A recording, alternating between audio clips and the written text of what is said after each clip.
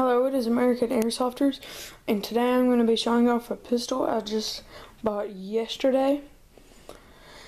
It is a CO2 pistol. I forgot the name of it by accident. It's got a little CO2 cartridge here, which you screw out with a tool that I'll be showing you later. You screw it back in. It's got a needle, pops in, and then your gas is right there. And then you also put your BBs down and the little thing holds 16 rounds of ammo and then semi-automatic shoots as fast as you can pull the trigger. I got some CO2 tanks. Bought a pack of them at Walmart. So there's CO2 I bought a thing of ammo to shoot the test the gun with it came with these little things.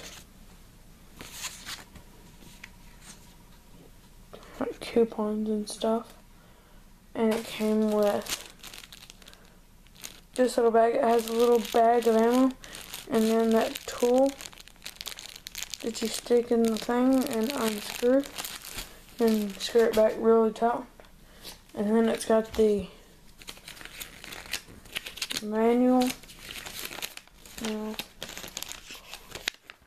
how to work the gun and everything else.